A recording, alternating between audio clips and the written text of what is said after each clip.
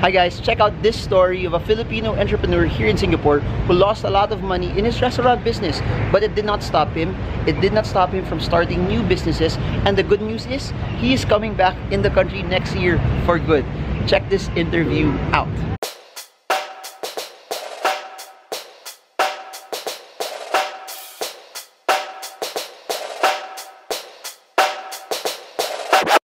By the way guys, before we start this interview, I'd like to invite you to StockSmart Singapore happening this week. The link is down below. Join us for the basics, the technicals, and the fundamentals of the stock market with the heart and the goal for you to win and so you can trade the markets with ease and confidence.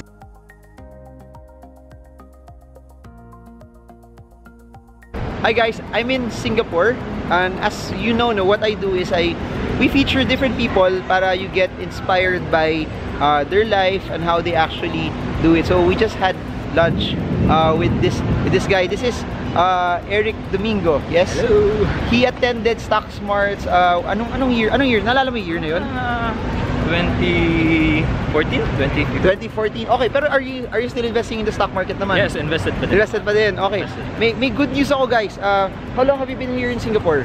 Almost 9. Almost 9 years. Nine years. So good news is he is coming back home naman. So this is a medyo feel good story with a twist also kasi it's nice to hear Filipinos that uh, are working abroad that somehow some way also that they started to find something that they can do a business or investments or their savings are okay na makauwi sila.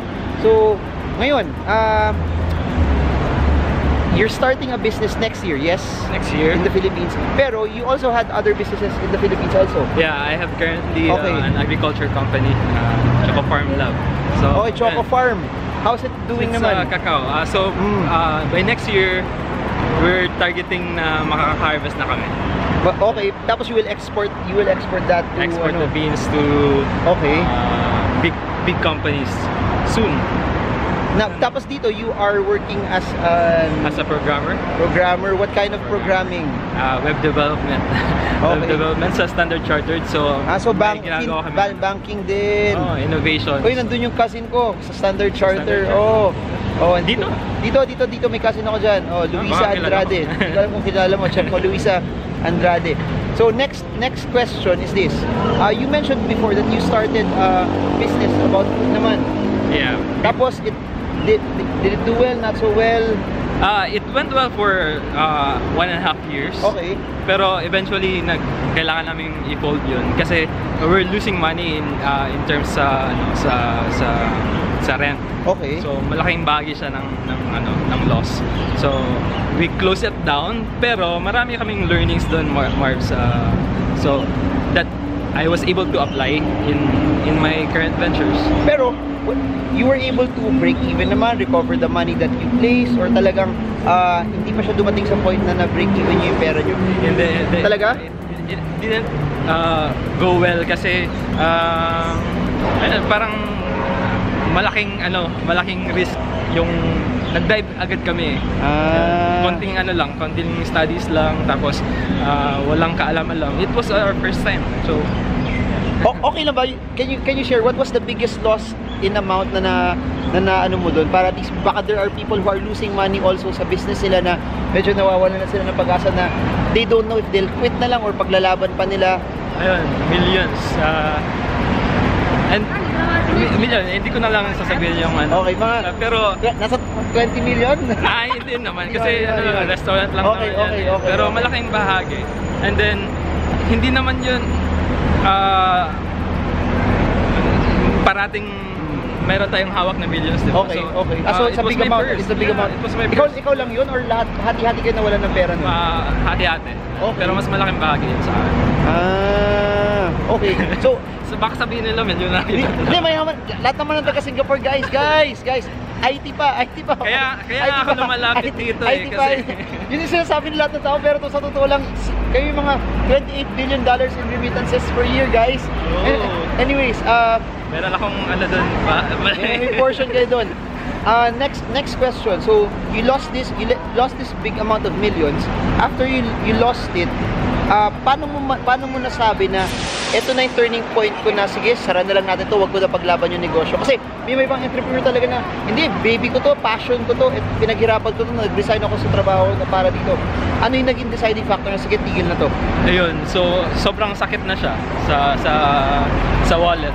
And then hindi na ako nakakatulog na paano paano ba siya i-reverse, paano ba kami mag-pivot or wala wala nang ibang nakitang hope. So, yun, kailangan nang i-cut loss talaga kasi uh, otherwise uh, we'll keep on uh, losing money. So parang it was bleeding money for every Ah, everyone. How many months was it parang losing money also? medyo matagal din. Uh, we're gambling for about 8 months. Okay.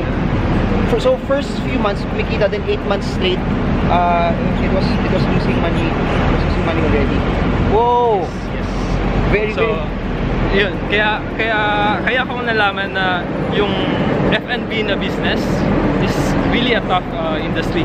Uh, so, Lalo na pag ano, sa, nasa casual dining scene kasi madami kalaban eh na ano, tsaka hindi, hindi lang sa madami kalaban, yung market na yan medyo maarte eh. Tama, Oo, tama, hindi yan yung tama. hindi, hindi yung, yung fast food, pangit quality, okay lang kasi Oo. mura eh. And people, oh, yun eh, pero pag when you start going higher, yung quality and then yung market medyo mas ma, mas maarte Tama, sila. So something something like that. So uh, ano, it was a lack of sales plus may, ah, meron pa? Yung, yung rent talaga, sobrang, Okay. sobrang malaking factor siya na, nag, nag, na, yun, kinakain niya yung sales. Pero did you get a big uh, so the sales was consistent. It's just that uh, malaki malaki lang talaga yung rent. May, Kaya- may mga times na malaki yung uh, sales, may mga times din naman na ano, uh, lean yung yung sales namin.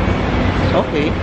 Pero if you if you started with a space na smaller, tas iba yung location, tas smaller yung rent, you think uh, it would have been a better outcome or Yes, actually, if uh, if I would do it again, I will start smaller na. And then, uh, yun, parang MVP na lang. And then, uh, eventually, uh, i-iterate ko, tapos mag-i-improve, mag, mag gagawing malaki. Depende sa sa turn turnout ng, ng, ano, ng customers or ng sales. Okay, so at least 'di ba, yun yung sinasabi ko sa mga entrepreneur eh. It's better that you're doing it now na may trabaho ka. Iba yung iba yung story na ginawa mo yun na yun na lang yung ginagawa mo, wala ka ng sweldo. Mas scary yun kasi uh, you will lose everything. Tsaka yung day-to-day mo na kain mo, maapektuhan din. Maapektuhan din nun.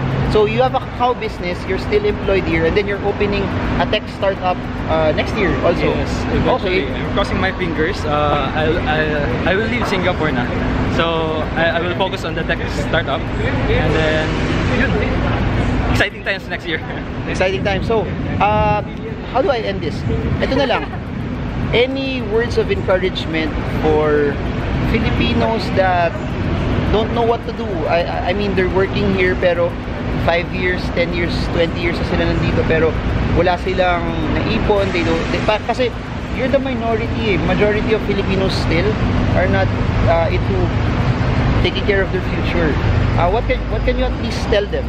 Na lalo na sa you lost money. eh. People always think na pag nag-business ako, ano yan, mag-franchise ako, kita kagad eh. And you've seen it that it's not like that eh. Uh, I'm an ad- advocate ng personal finance. Uh, I really uh, enjoy sharing my my experiences, my learnings, especially when it comes to investing.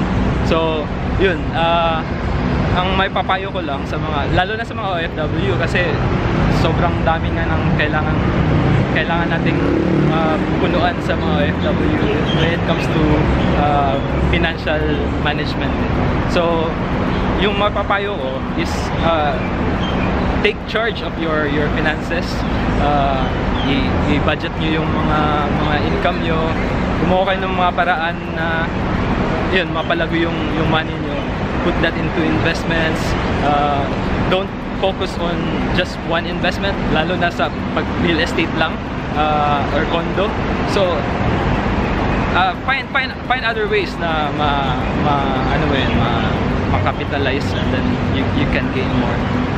Alright, so that's it no. Again, this is a medyo may may sad story sa gitna pero it comes out still na something good. Kaya nga ah, don't be scared to start businesses kasi and don't be don't be scared to fail eh, kasi when you start failing uh, it, it allows you to do better later on eh. Mas, mad, ito, ito gusto ko sabihin, mas madaming tao na natalo dahil hindi nila sinubukan. As compared to people na natalo sila, pero because of that uh, loss, it created a framework na gumaling din sila later on. Kung nanonood ka ng Golden State Warriors, di ba? Ano, uh, if you follow basketball, they lost and then they won. And every, every in, in, in life, no, you wouldn't see a good entrepreneur that has that hasn't lost money kasi it happens and it's part it's part of how you go through it. So, yun. Yun.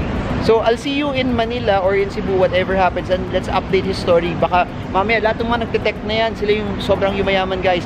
From 0 to 100 million valuation in dollars soon. Thank Yes. you, Marbs. Oh, thank you, thank you. ano, Yeah, oh, so, sa mga taong katulad mo. Di naman, di naman. So- Inspiring. Ah, ganun. Salamat, salamat. I hope this video guys help you trade well, trade strong, trade smart. See you all. Marvin Germo from Singapore. Bye-bye.